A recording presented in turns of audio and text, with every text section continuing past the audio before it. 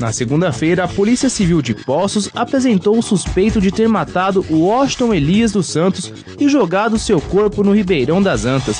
Após ouvir testemunhas, os policiais chegaram até o suspeito John Alan dos Santos, de 27 anos, que participou da reconstituição do crime. Os Poços Caldenses realizaram um protesto contra o transporte público.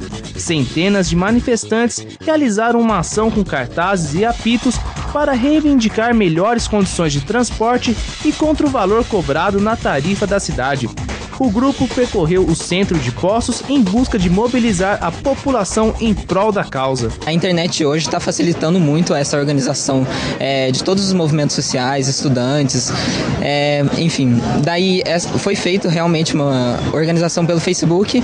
É, a gente criou lá e o pessoal aceitou e a gente está aí. Na terça-feira, mostramos que a UTI da Santa Casa de Poços está passando por ampliação. Em breve, os leitos das UTIs neonatal pediátrica e adulta passarão dos atuais leitos para 36.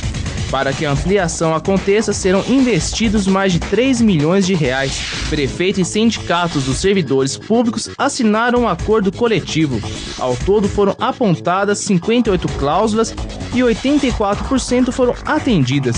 O acordo era negociado desde 2008.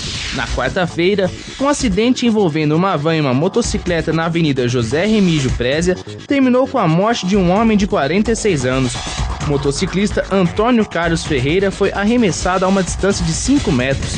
Ele chegou a ser socorrido pelo SAMU, mas não resistiu aos ferimentos. Na quinta-feira, mais de 5 mil pessoas tomaram as ruas de Poços de Caldas em mais um dia de protestos. Com cartazes e caras pintadas, os Poços Caldenses tomaram as ruas.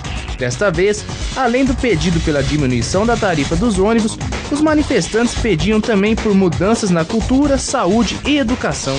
Após as chuvas causarem estragos na estação elevatória de esgoto do Kennedy, as obras de recuperação no local tiveram início.